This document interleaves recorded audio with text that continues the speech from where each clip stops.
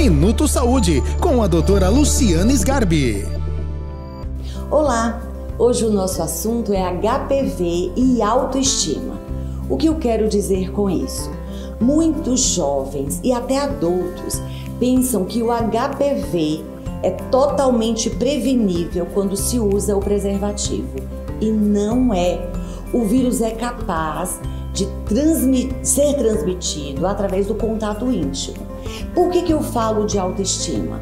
Se a gente se cuida, se a gente está ligado nas questões preventivas, a gente diminui o risco não só de HPV, mas de muitas outras infecções sexualmente transmissíveis.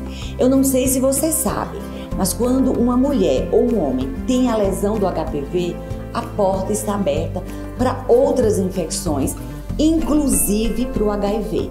Então, nós observamos no nosso dia a dia que quem está com autoestima alta se cuida e significa o quê? Tomar as vacinas necessárias que estão disponíveis, gratuitas na rede pública e também na rede privada, para você não adquirir HPV. Venha conversar conosco e fique protegido e tenha muito tempo para ser feliz.